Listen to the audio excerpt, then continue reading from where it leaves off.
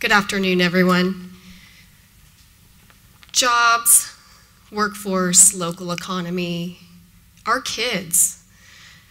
The unemployment rate nationally and locally changed since 2006. When we look at Yolo County's unemployment rate, it peaked in 2011 at about 15%. And today it rests around 8%. When we look at our neighboring counties in Colusa, they sit at 21% today. In 2012, the Center of Excellence developed an agriculture value chain report for the state of California, and it indicated that there are currently 2.5 million jobs across four sectors in agriculture and fully anticipate an additional 185,000 jobs um, requiring some college education over the next five years.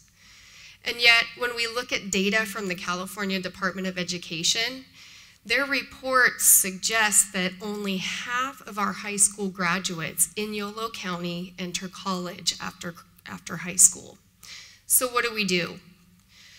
The Woodland Community College Student Engagement and Economic Development Initiative is an answer to these issues development of strong K-12 partnerships, reaching to our kids early in their education, and fostering a direction towards work here in Yolo County. So when we took a look at agricultural related companies or businesses in Yolo County, the work pretty much was done for us by UC Davis.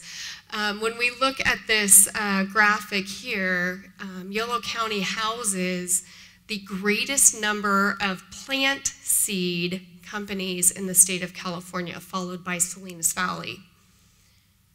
So what do we do with that? We look at identifying those needs for employment for those businesses that rest in our backyard. The SEED initiative will address this issue.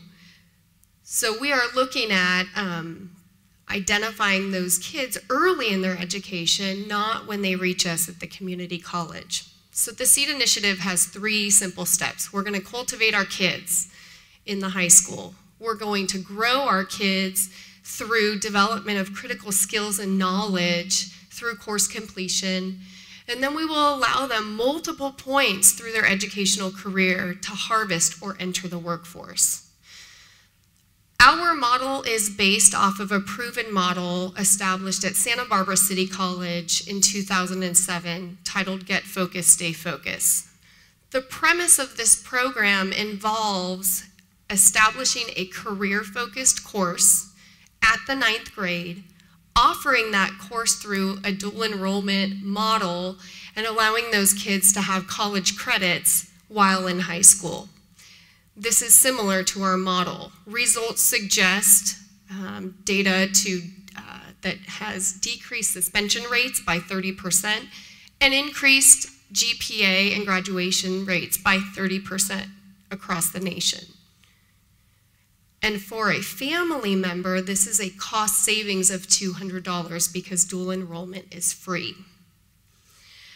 From that career course, they will transition towards a clear pathway uh, leading to either plant science or agriculture business uh, degrees. Um, they can earn an, uh, 14 additional units for a cost savings of $1,100 and then transition into the community college to complete 19 units. This will uh, allow them to receive a certificate and at which point they can harvest into the workforce with base skills and knowledge to make them a um, citizen in our county.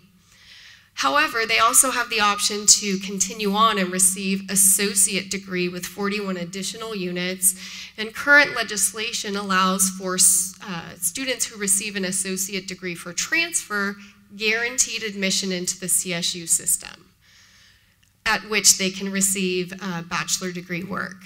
So there are multiple points of harvest, and the one thing I want to leave you with is a quote that says, always remember Your focus determines your reality, and the SEED initiative is committed to our students to foster that focus and direct them or guide them to the workforce that resides here in Yolo County.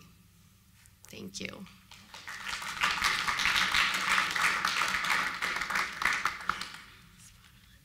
Thank you so much.